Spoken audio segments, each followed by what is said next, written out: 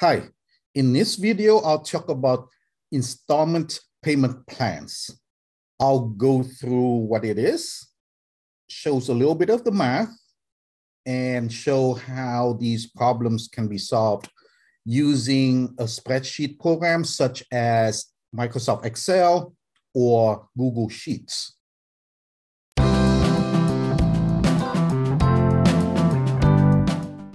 There are two kinds of installment payment plans, and they work the exact same way. They just go opposite directions. One is if you start out with a loan, so you have a big loan like this, and you start paying it down slowly, so eventually it gets down to zero. That's one form of installment payment plan. The other form of an installment payment plan is that you start with nothing and you start to save money into some sort of an investment account or savings plan. So you keep paying in and interest grows at the same time, and eventually you have some large amount of money. In general, the starting amount that you have, either a small amount that you invest at the beginning or zero at the beginning, or a large amount alone at the beginning, that's called the principal or the present value. The payments that you made are called payments, obviously, and the ending balance is called by various names, ending balance, accumulated amount. For purposes of the spreadsheet is called a future value. Let me repeat that with a diagram. You could have a situation with a loan where you start out with some amount that you borrow, and then a loan comes with an interest. So the starting amount is called the principal or present value. The loan comes with an interest rate, and the interest is compounded so it grows exponentially. The interest rate is usually written with the lowercase r. Well, left alone, the loan will just grow exponentially into a very large number. So what usually happens is that you make a payment. You make a payment that's larger than the interest, so that first of all, it pays off all the accumulated interest, and it pays a little bit of the principal, so that with each payment, the loan balance goes down by a little bit, and you're hoping that eventually you'll go down to zero. Each month, usually, you make a payment well, and then after that, interest grows again, and then you make a payment again.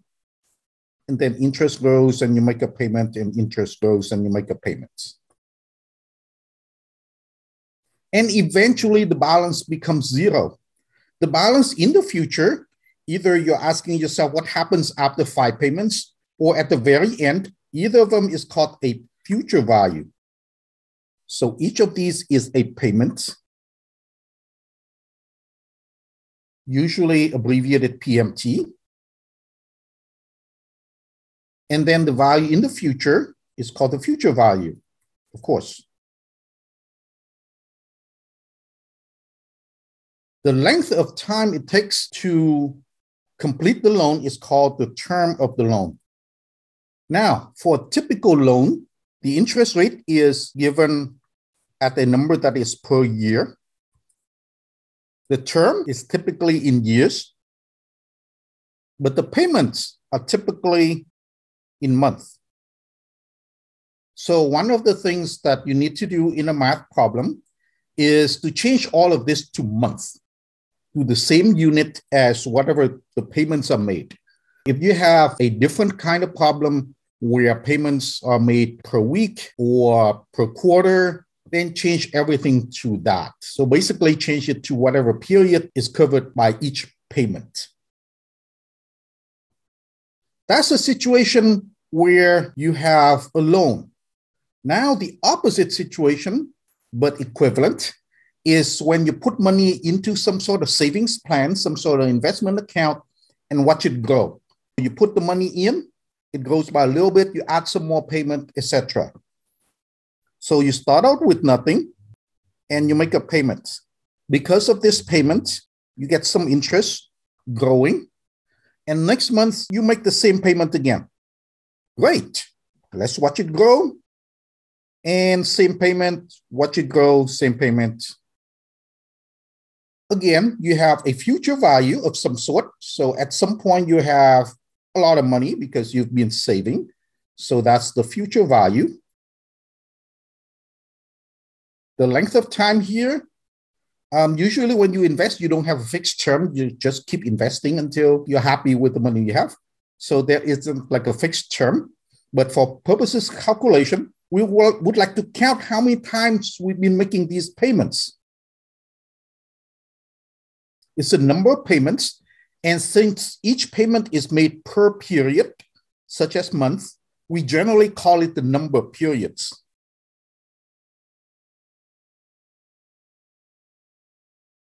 And in both Google Sheets and Excel, it's abbreviated NPER.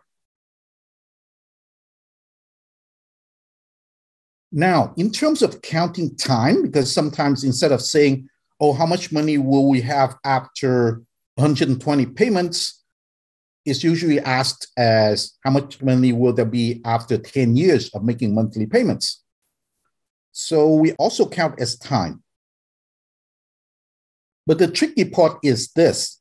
Remember the loan, we start out with a big loan and then we let it grow and we make our first payment, right?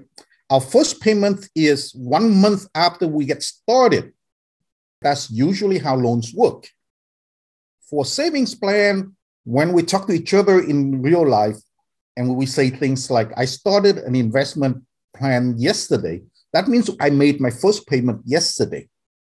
So in reality, the time period should start when I first make payments.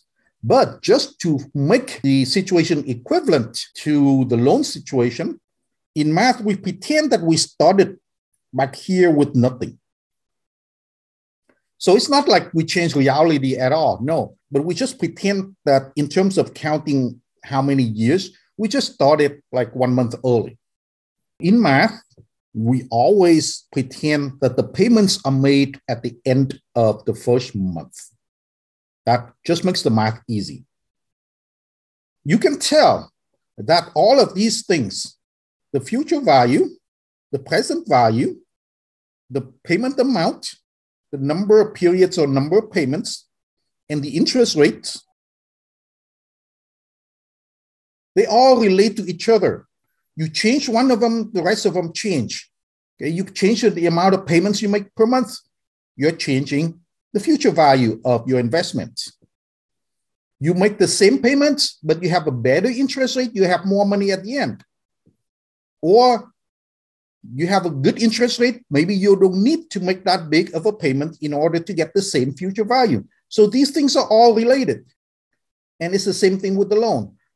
All of that come together in one big math formula that gets translated into the spreadsheets like Google Sheets and Excel. Now let's talk about the math. Let's first define some terms. Let PV be the principal or the initial amount, or in Excel and Google Sheets, we'll call it the present value.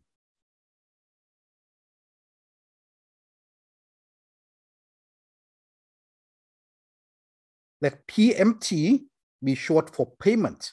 Now, payment is made once a month or once per period.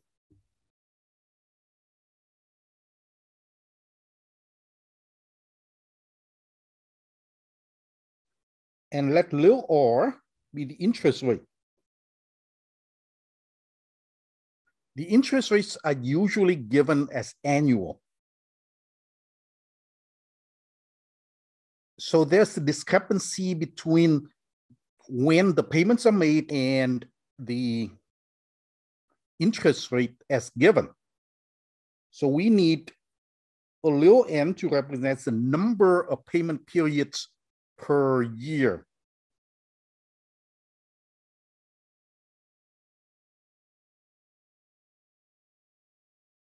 And that's usually 12.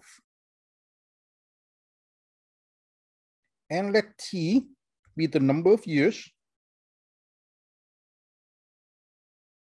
then you can tell that it's important that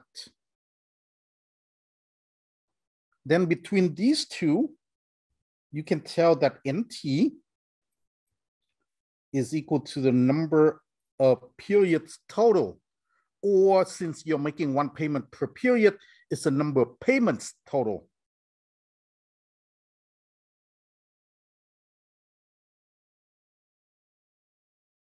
Given all of these variables, you can tell that they're all related. Then therefore there ought to be a formula that relates them together. And here's the formula. The formula is that PMT is equal to this calculation. Present value times this big fraction. Where the blanks that I'm leaving out is the interest rate per period. You have the interest rate per year of R, but since we're making payment once a month, once per period, we need the interest rate per period. So we need to take or divide by n. All right, so that's one formula. It gives you the PMT, given all of the other information. Now, what if the question is the other way around? What if I tell you how much I'm paying per month and you're trying to figure out how much money was owed at the beginning? You're trying to figure out what PV was. Well, then we can solve for PV out of this formula. And you're going to say, whoa, that's one very complicated formula. How am I supposed to solve it? Well, even though it's a very complicated formula, at the end of the day, it's just PMT is equal to PV times a fraction, a fraction of A over B. It's a very complicated A and an even more complicated B, but basically just a fraction of A over B. So if I want to solve for PV, all I need to do is flip it over both sides. I'm going to multiply by B both sides. I'm going to divide by A both sides. Then the A will cancel and the B will cancel.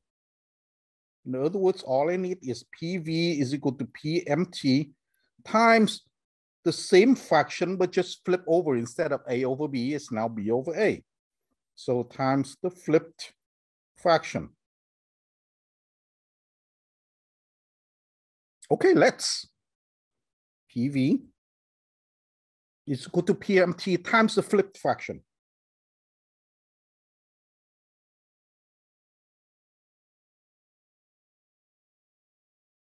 There we go.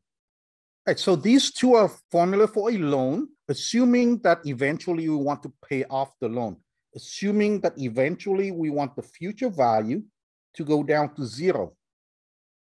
Well, what if we don't want the future value to be equal to zero? For example, the flip side of a loan is an investment. We want to find out how much the investment is going to be worth in the future. Well, the insight is this. If you have a loan and you slowly pay it down, then this is the present value of the loan and the future value is zero. If you have an investment situation, then you start out with zero and you try to build it up into some sort of future value. So you say, wait, wait, I'm drawing my picture in the wrong direction. I'm I'm supposed to draw it this way, right? Not going backward in time like that. And that is the key insight. And that is the future value is just the present value, but you know, wrong direction. So to compute the future value, I all I need to do is to take the present value formula and go the wrong direction on it. So wrong direction means this subtraction here. Instead of one minus stuff, I'm gonna switch over into stuff minus one. And that's all I need. And therefore the formula for the future value is PMT times, and instead of one minus stuff, is now stuff minus one. The denominator is the same, but the numerator is now that. And there we go, the three formulas of installment payment plan. The payment, the present value, and the future value. Um, we're actually not going to do anything with these formulas in this video because we're just going to use Excel and Google Sheets to do all the calculations for us.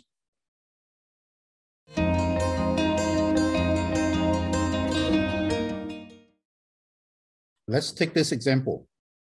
Phương borrows $250,000 to buy a house.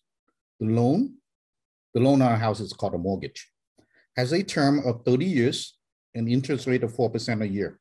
How much is the monthly payment? All right, so let's draw a diagram first before we pull up Excel and Google Sheets. She borrows some money.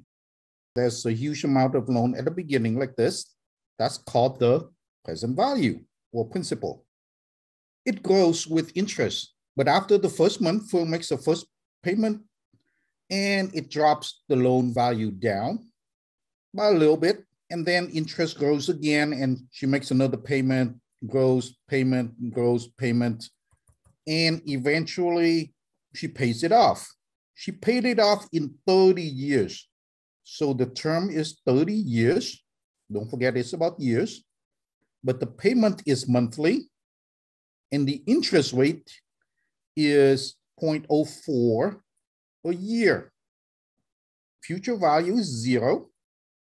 We have a mismatch in units. The payments are per month. The term is in years and the interest rate is also in terms of year. So we need to switch everything to month. Well, 30 years, that means it's 30 times 12 or 360 months. What about the interest rate? Is 0.04 a year. There are 12 months in a year, so each month is 1 12th of that. So to get the interest rate per month, I just divide by 12, and then I'll get the interest per month. All right, now let me show you how this is done on a spreadsheet. Let's do it in Excel. First, I'm going to um, put in the information. Present value or principal is 250,000. Remember when typing numbers into Excel, don't put in commas because the comma has special meaning in a formula, don't type the comma. 250. The next piece of information is that the term is 30 years. So T is equal to 30 years. Number of periods, therefore, is equal to 30 times 12. When you want Excel or Google Sheets to calculate things, start typing with an equal sign. And the interest rate R is 4% a year, so that's 0.04 in decimal form. And now I'm looking for monthly payments. Monthly payments. So I'm going to start with an equal sign, and I'm going to type in PMT for payment, PMT, and see how automatically Excel comes up with all the functions that has PMT in them. And I'm gonna pick the one that just says PMT. I click on it, and it gives me a reminder of what kind of numbers to put in. It tells me first to put in the rate. So yep, this rate. But tax rate is the annual rate, so I need to divide by 12. So divide by 12.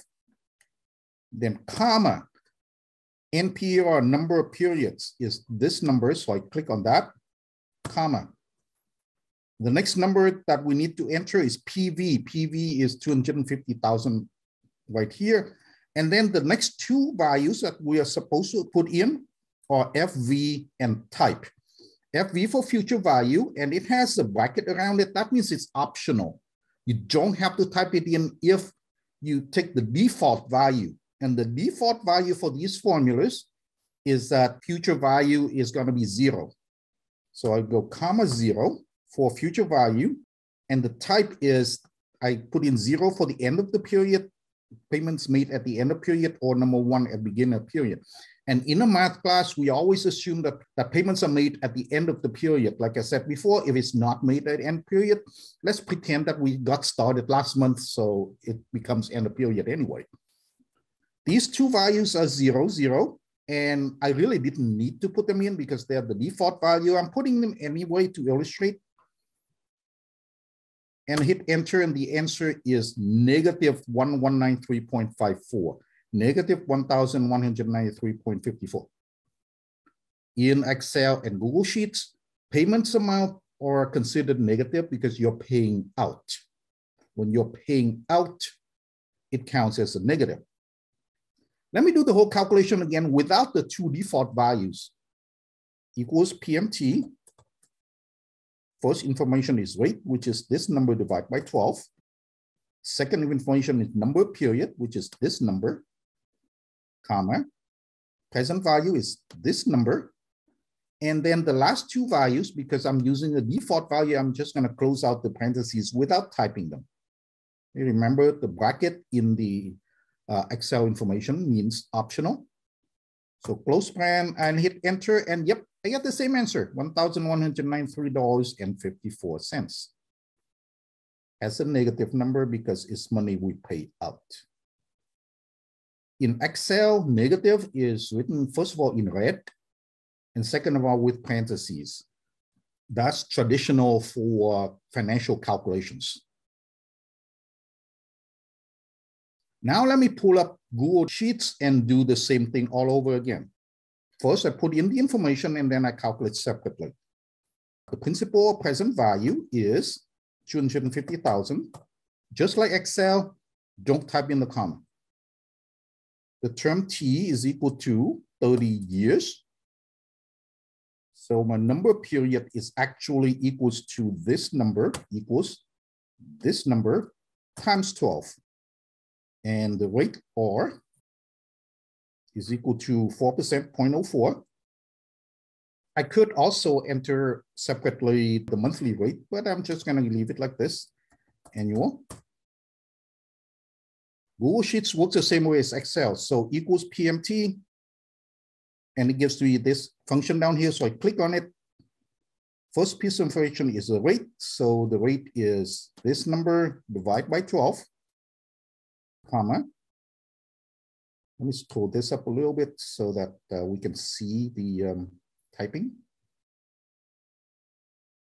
Number period is this, then comma, present value. Um, this informational box is blocking what I'm typing, so watch the formula bar up here. I'm gonna click on present value, so I'm gonna click on PV here, comma, and check this out. These two pieces of information also in bracket, meaning also optional, works exactly like Excel, assumed to be zero for the future value because we're assuming that we'll try to pay down the loan. And the end or beginning, either at the end or beginning of the period, and the default is a zero for end. So I'm gonna go zero comma zero, close paren hit enter again, I get exact same answer that I got in Excel and also as a negative number, also because payments are things that we pay out, so it counts as negative. Again, let me do the PMT again, but without the, the optional value. So first number is the rate, so this divide by 12, comma, I need the uh, number period, which is this number right here, comma, the present value, the 250 up here, and a close paren like this, enter. Yep, same answer.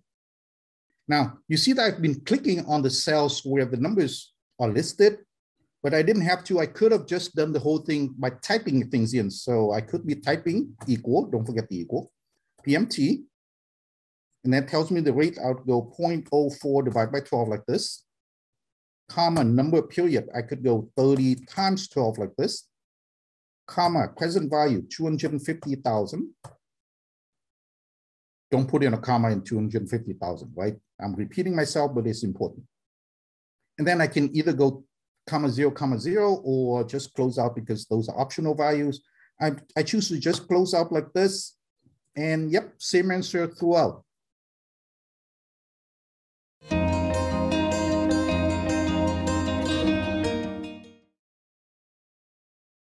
That was the payment function in a loan situation. Now let me give you an example of a question that asks for the payment in a, an investment situation. Yasmin wants to save $100,000 to open a business in 10 years. She found an investment account that pays 5% a year. How much does she need to put in the plan each month to achieve her goal? So she puts in some payments that we don't know a month. And in a math class, we assume that time started a month ago so that the payment can be considered to be at the end of the month. And there's some interest growing, and she makes another payment and interest growing and payments. And her goal is that in 10 years,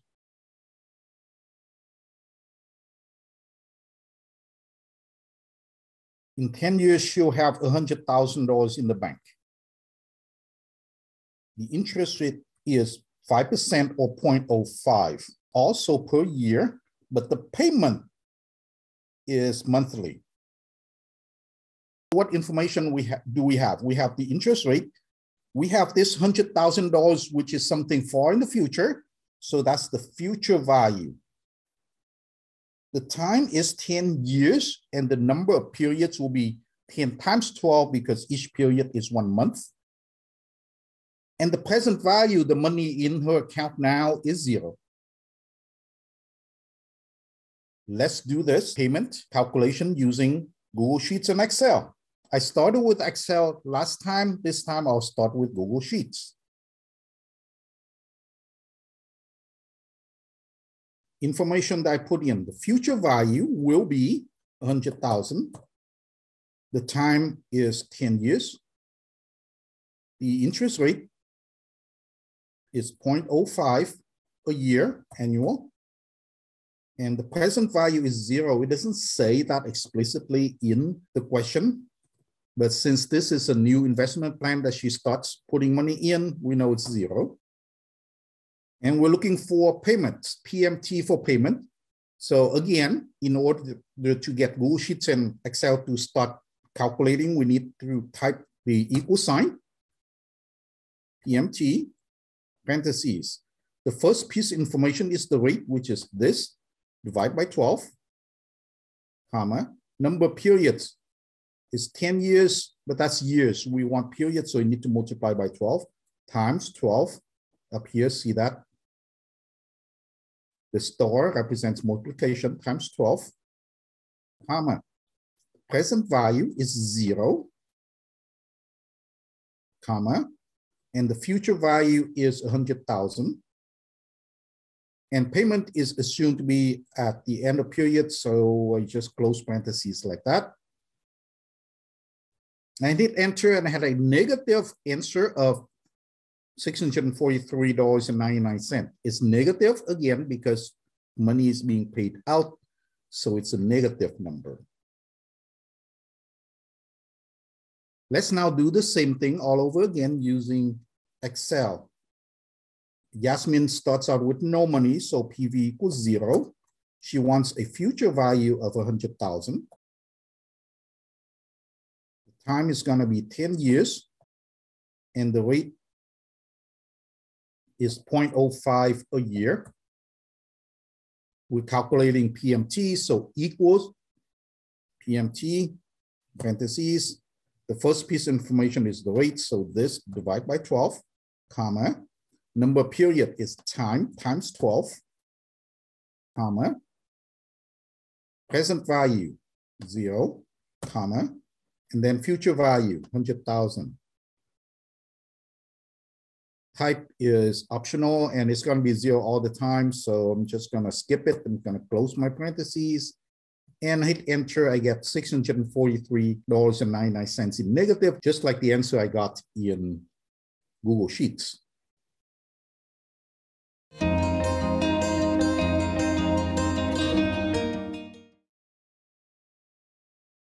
Let's take a look at this new problem.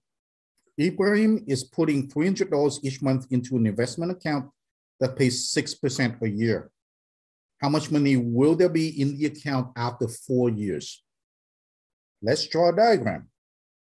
There's an investment account that starts out with nothing, and Ibrahim pays in $300. There's some interest, and at the end of the month, Ibrahim puts in another 300. Interest, payment.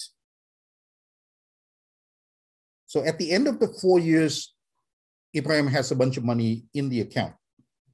Question is, how much is this? So this time period here is four years. Information do we have? We have that each payment is 300, but that's per month. That in our notation is payment, PMT. And the interest rate, R, is equal to 0.06 a year, which we will need to divide by 12 to get to per month. And we'll ask for future value. Well, the future value is over there in the future. What is it in the present? Well, in the present, we're just starting out, so the present value is just zero. T is four years. We have all the information, and we can see that everything is there, right? The rate is there, the payment is there, how many payments? Yes, we know that too. Uh, the present value, yes, we know that. So now let's just calculate future value. We're gonna use Excel and Google Sheets.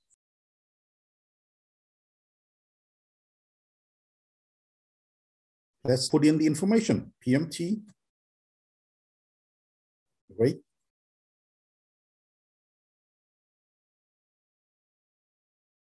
time.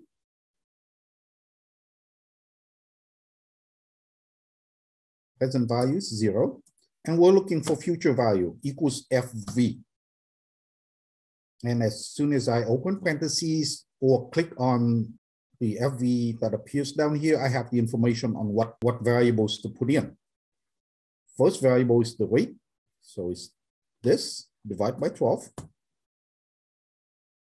Number of periods is four years, but because it's monthly, I need to multiply that by 12, comma.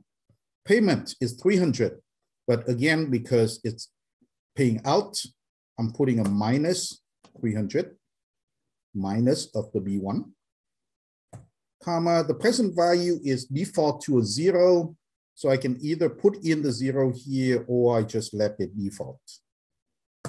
Close parentheses, and the answer is too big to fit. So I widen my column and I see that $16,000, $229.35. Now, why do I why do I put in the information here and click them instead of just typing in because I could, right? Well, the thing is, if I lay out the information like this, then if the information changes, I can just change the number and I don't have to retype the formula. For example, here's one problem. If the next problem has the number 500 each month, then I just change this number to 500. I hit enter and the answer automatically changes. That's the advantage in laying out the information instead of typing it in. Another advantage is that if I make a mistake and instead of typing four years, I made a mistake of typing 44, then I can look back and say, oh, wait, it's not 44, it's 4. Whereas if I type it in and I look at it, whereas if I type it in, I go equals FV, the rate is 0.06 divided by 12. The number of period is four times 12. The payment is negative 300, present value is zero. But if I made a mistake and I type it as 44, and hit enter, I have this large number. If this is the only thing that's on my spreadsheet, none of this stuff is there. If this 775,000 is the only thing on my spreadsheet, I may not realize I made a mistake. And I'm looking at this, I may not see the repeated four right away. So yeah, lots of advantages to laying things out visible like this. Let's do this whole thing again using Google Sheets.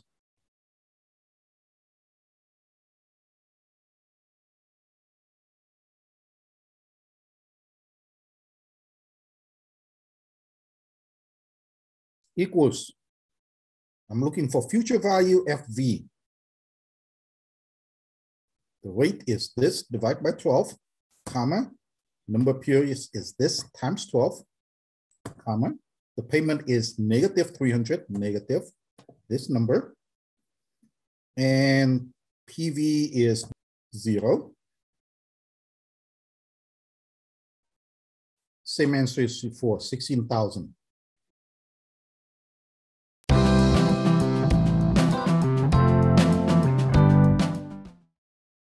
Let's take a look at this problem. A line of credit is a form of loan and it usually doesn't have a fixed term. Latanya takes out a loan of $25,000 from a line of credit with a 5% interest rate. She starts making monthly payment of 600. How much remains due on the loan after three years? So there's a loan of 25,000. So PV is 25,000 you get some interest pays down, interest pays down, interest pays down. And if Latanya keeps on doing that, then eventually it will be zero. But the question doesn't ask about that. The question says after three years, so somewhere in between here, T is three years, there's some balance left, probably, maybe. I don't know, we'll calculate we'll find out. But there's, there may be some balance left. And the question is how much of a balance? We have payment of 600 a month, and we have the interest rate of 0.05 a year. And the question asks for that balance right there, the balance that will be in the future. So that's the future value. So we have all of this information here. We're gonna put it into Excel and Google Sheets put in information. Present value is 25,000. The rate is 0.05. Payment is 600. And the time is three years. And we're looking for the value in the future. So equals FV. First information is the rate, this divide by 12 number of period is this times 12. The amount of payment is 600, but because uh, um, Latanya is paying out is negative 600, comma, and next is the present value. Present value is this number. And the type is default to zero, so I'll just close parentheses and I hit enter. And I get a negative 5784.80. That's negative means I still owe, Latanya still owes $5,784. It's a little tricky. It's a little tricky that this is positive and that's negative. Let's now do this on Google Sheets.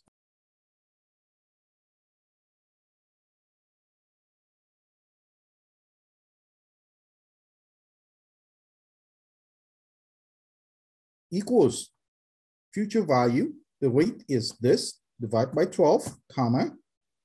Number periods is this, times 12, comma. The payment of amount is negative of this, comma. The present value is this, close paren. 57, 84, 80 still owed.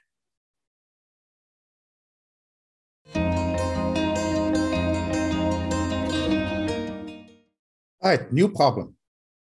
Jovita is an investigator doing a background check on Richard.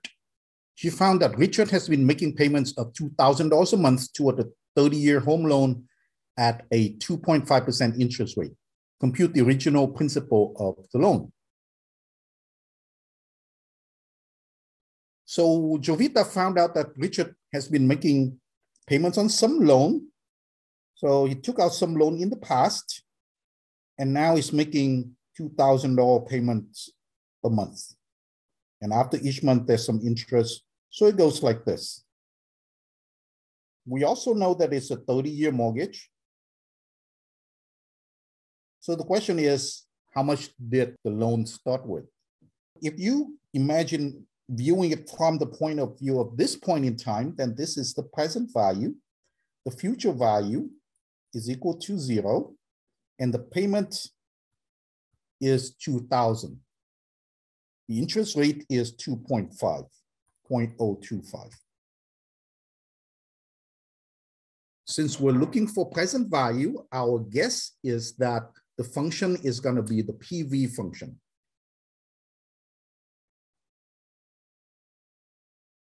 We know that PMT is equal to 2000.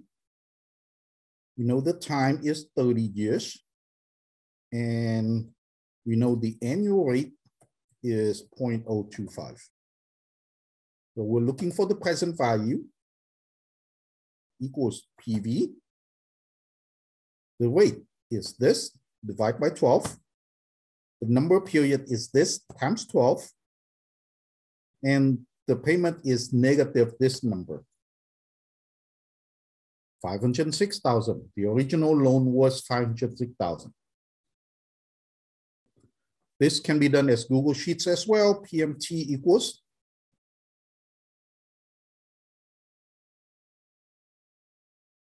We want the present value, so equals present value.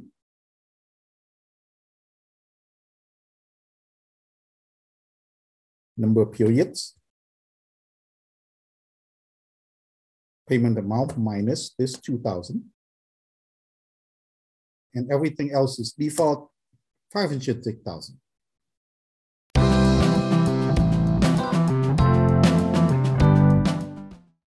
Let's finish with a fun question. Uriel wins the lottery and is getting $20,000 a month for next 10 years. Assuming an interest rate of 4%, how much should Uriel get paid if he chooses to take a lump sum payment?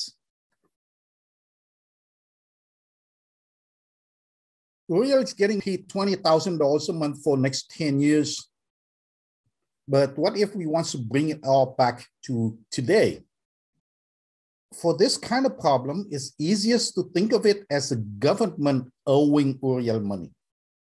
We want to know how much Uriel should get paid if it were just a lump sum payment. That lump sum payment is unknown. So it's some sort of present value. But what do we do with all of these payments? Imagine you are the government. You have a choice of either paying a lump sum payment now or paying Uriel all of these payments. So what's equivalent is that instead of paying this present value, you tell Uriel, you know what? Let me owe you. I'll owe you this much money, and then I'll pay you all this money over the next 10 years. So this is equivalent to the government borrowing some unknown amount from Uriel and making all of these payments. All of these payments are like loan payments paid by the government or you know the lottery agency. This is just like a loan situation.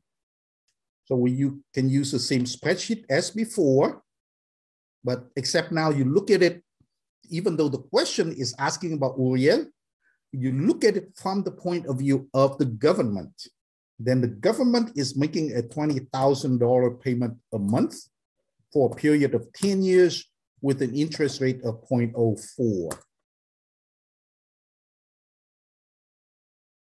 Present value of this lottery winning is $1.9 million. The actual total payments is going to be more than this, but because it's spread out over 10 years, right? For double checking, it should be more than this number. This much per month times 12 months in a year times 10 years equals 2.4 million. Yeah, more than this number. We get the same answer in Google Docs there's a $20,000 payment over 10 years with an annual interest of 0.04. If there were no interest, it's 2.4 million. But now that there's interest, it's 1.975. All right, hope it's been fun.